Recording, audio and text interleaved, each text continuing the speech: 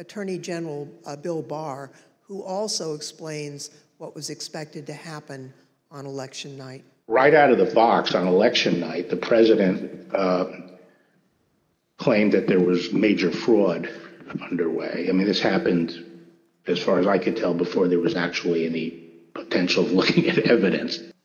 There was an avalanche of all these allegations of fraud that built up over a number of days, and it was like playing whack-a-mole because something would come out one day and then the next day it would be another issue.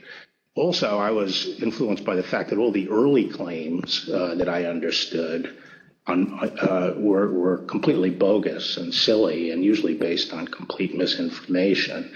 Barr persisted in telling the president that there was no evidence to support the fraud claims. I told him that the stuff that his people were shoveling out to the public were bull, was bull. I mean that the claims of fraud were bull.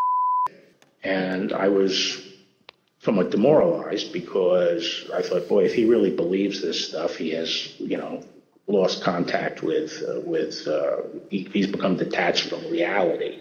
If he really believes this stuff.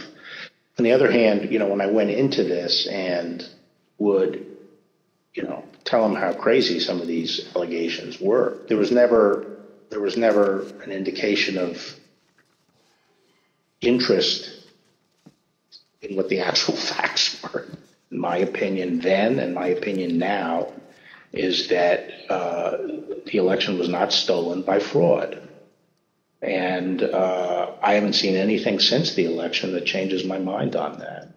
Now, the Attorney General wasn't the only person who told the president that his claims were false. Other officials and close advisors told him the same thing. And I remember telling him that I didn't believe the Dominion allegations because I thought the hand recount in Georgia would, would resolve any issues with a technology problem and with Dominion or Dominion flipping votes. And I believe Mr. Navarro accused me of being an agent of the deep state working with Chris Krebs against the president. And I never took another phone call from Mr. Navarro. what they were proposing, I thought was nuts. And the theory was also completely nuts. I mean, different things have been floating around as to who was involved. I remember Hugo Chavez and the Venezuelan. She has an affidavit from somebody who says they wrote a software in, it's something with the Philippines, and that. Just all over the radar. He said, dead people are voting. Indians are getting paid to vote. He meant people on uh, Native American reservations. He said there's lots of fraud going on here. Told him flat out that much of the information he's getting is false and or just not supported by the evidence. We look at the allegations, but they don't pan out.